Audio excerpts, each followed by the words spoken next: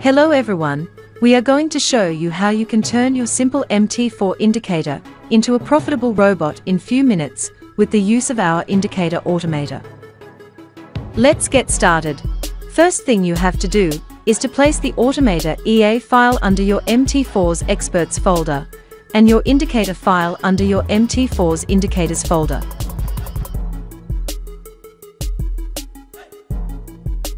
We are going to automate a simple arrow indicator called Super Arrow Indicator.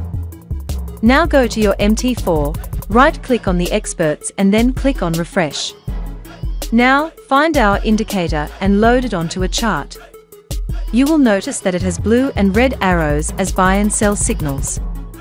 We are going to use our automator to trade based on these arrows. For this purpose, we need to identify the color IDs for these blue and red arrows. If you go to the Colors tab under Indicator Settings, you will notice that color ID 2 is for the blue arrow and color ID 3 is for the sell arrow. Please make note on this as we will need to use these two IDs under Automator settings. Let's do a back test for demonstration purposes. Click on the back tester icon to open the back testing module. Then select our automator. You can select the other options like the symbol, pair, model, time frame, etc. as you like. However you need to make sure you have the history data on your MT4 for the period you are going to backtest. Go to Tools and click on History Center and select your pair and time frame to see if the data available. If not, you can double-click on the time frame to download the data. We will be doing a back test for December 2020 on Euro USD on 15 minute chart. If you want to see the indicator running during the back test, you can simply save a template with the indicator in the same name as the EA name so that MT4 will automatically load that template when backtesting.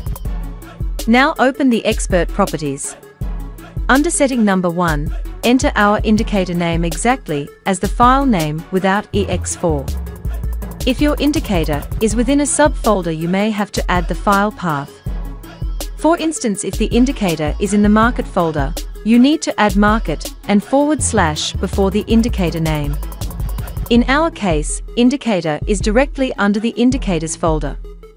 Now under the settings 6 and 7, you need to add the previously identified color IDs for buy and sell arrows. 2 was for buy and 3 was for sell. Now settings are done. You can just click on the Start button to start the test. You will see that the automator is making trades as per the indicator arrows.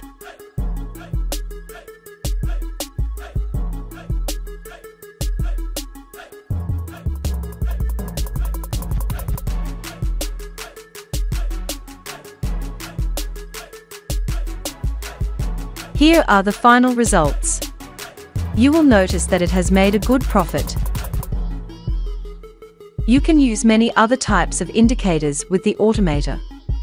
Also if you are an advanced user, Automator has so many features that you can make use to improve the performance.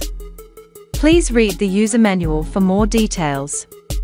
You can get a free demo and test your indicator before